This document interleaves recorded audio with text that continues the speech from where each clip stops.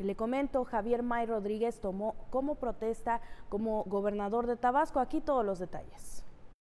Este lunes 30 de septiembre, Javier May Rodríguez tomó protesta como gobernador constitucional de Tabasco ante el Pleno de la 65 legislatura del Congreso del Estado para el periodo del 1 de octubre de 2024 al 30 de septiembre de 2030.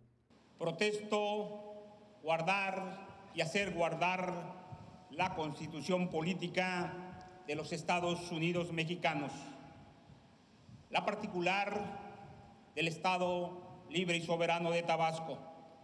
Las leyes que de ella emanen.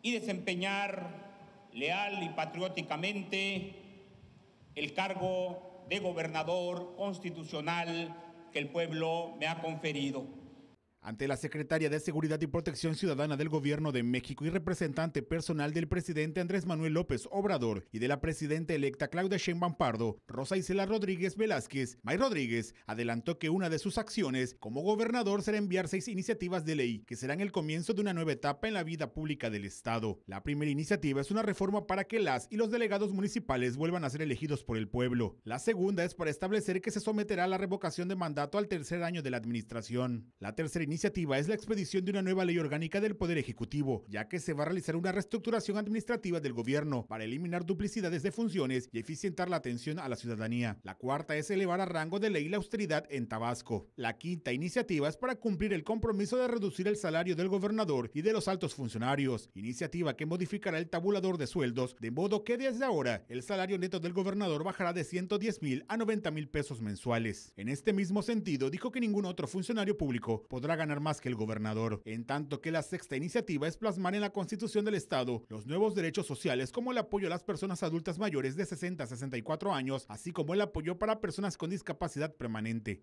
Siempre he dicho que si queremos resultados diferentes, no podemos hacer, seguir haciendo lo mismo. Por eso ahora en Tabasco vamos por una, por una transformación profunda y de raíz. Vamos a consolidar la transformación en Tabasco Sé que en cada paso que demos no estaremos solos, porque contaremos con el apoyo del pueblo. Gracias, muchas gracias por su confianza.